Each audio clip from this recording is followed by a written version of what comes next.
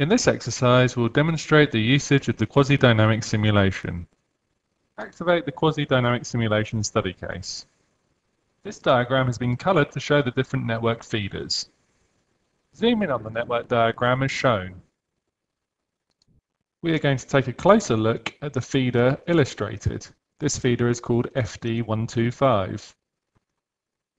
A schematic diagram of this feeder is available on a different tab. Select the tab. This diagram shows all the loads and the PV systems connected to this feeder schematically.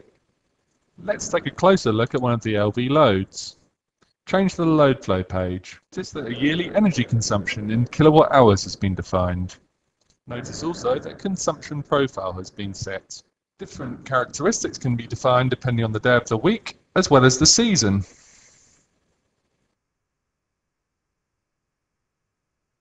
Now let's take a closer look at a PV system. Notice that a solar calculation model is used to calculate the infeed of the PV system. This means that the power infeed is calculated based on the expected irradiation for a particular GPS position as defined in the bus bar to which the PV system is connected. Now we will run the quasi-dynamic simulation. Go back to the 400 volt diagram. Press the quasi-dynamic simulation command icon Apply the time period 28th of April 2014 to 5th of May 2014 and choose a time step of 1 hour. Press execute.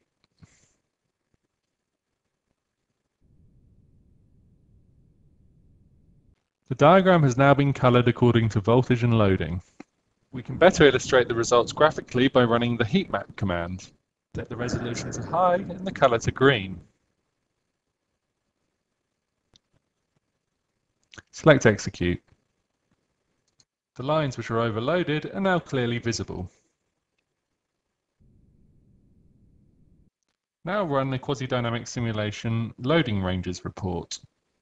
Select loading ranges and choose the complete time range. Execute the report. Three lines are loaded above 100% of their maximum loading. Mark the most heavily loaded line in the graphic. Choose the feeder schematic. The heavily loaded section of line is marked. It is clear that all three overloaded lines are in the same feeder.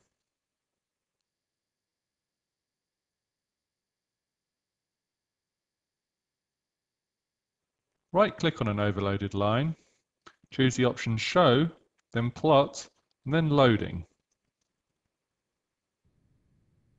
Here you can see the loading profile for the line over the time period of interest. A line is overloaded if its loading is above 100%. Set a constant to illustrate the 100% level.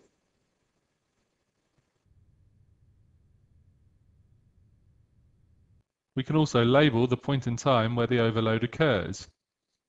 The highest overload is approximately 107% and occurs at 1 o'clock on the 3rd of May. Choose the PV Active Power tab. The active power generation of three different PV systems is illustrated. The red curve is a two-axis tracker. The green curve is a fixed installation. Change to the Feeder Voltages tab. Here you can see the maximum and minimum voltages within the feeder within the time range. Choose the Load Active Power tab. Working day profiles are illustrated here. Thursday is a holiday.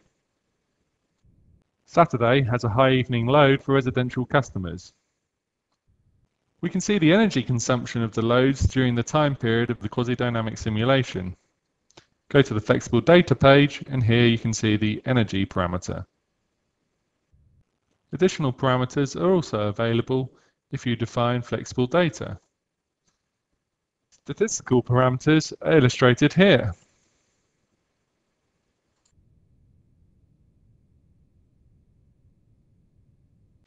All power quantities can be used to calculate energy values over a given time period.